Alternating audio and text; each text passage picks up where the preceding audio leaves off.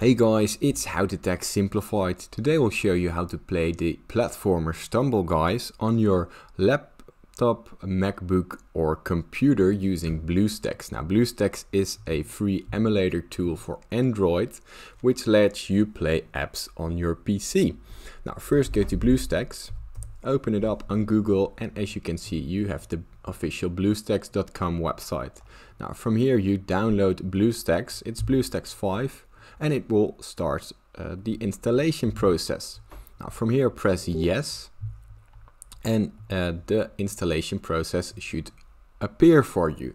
Now I've already done it so I'm not going to but it's very easy just follow the prompts that BlueStacks gives you.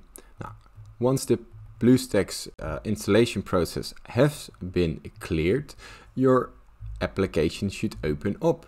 Now from here you get to the application screen. Now all you gotta do is go to the left and click on the Play Store.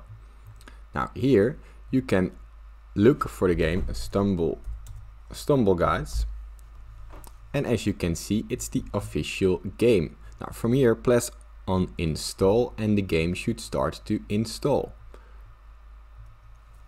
Now from here it has been downloaded and once the installation process is uh, done there should be a icon on your desktop right here the stumble guys icon. Now you can open up the game from here but you can also open up the game from your bluestacks application as of here.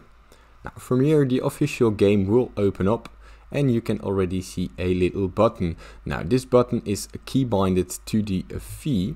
It's the uh, fee in uh, in your monitor on your computer so if you want to change any uh, keyboard uh, stuff, all you gotta do is go to the little keyboard and here you can change your controls.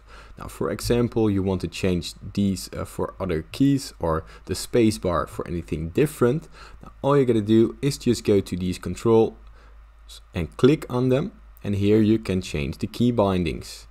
And you can also add other key bindings. Now here you can start playing the game and that's it. If you have any questions, please leave them down below. But most importantly, thanks for watching and have a great day. If this video helped you by any chance, please leave a like and subscribe.